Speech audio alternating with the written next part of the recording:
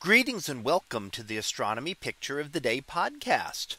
Today's picture for July 19th of 2024 is titled anti-crepuscular rays at the planet festival. So what do we see here?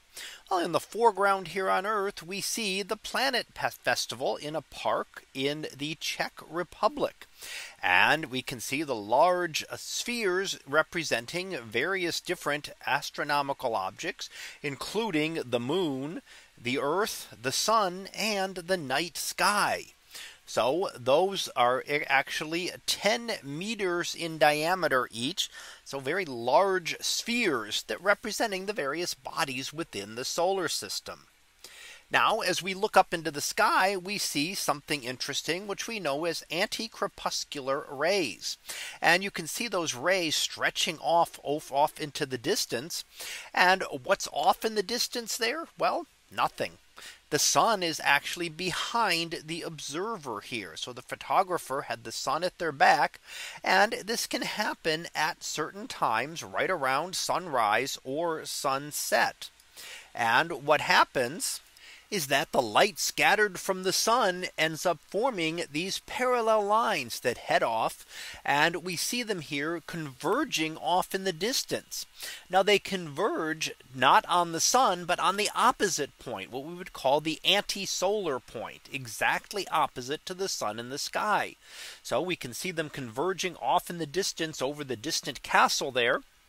And if you imagine tracing them all the way back along the sphere of the sky, they would then appear to come from the sun.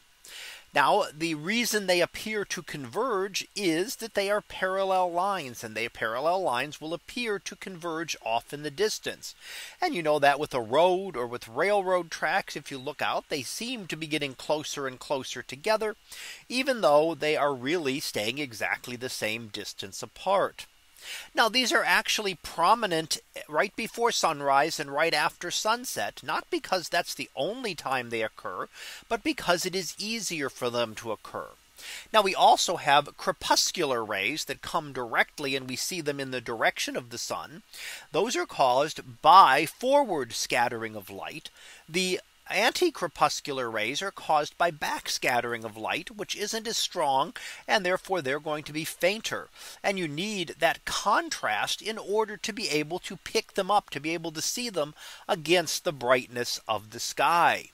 So here we get to see those in our picture today as we look off in the foreground seeing the planet festival with the large spheres for the moon, earth, sun and the night sky and the rays stretching across the night sky appearing to converge off in the distance over the castle up on the mountain there.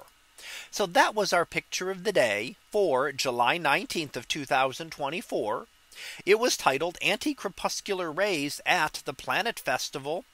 We'll be back again tomorrow for the next picture preview to be panorama on another world. So we'll see what that is about tomorrow.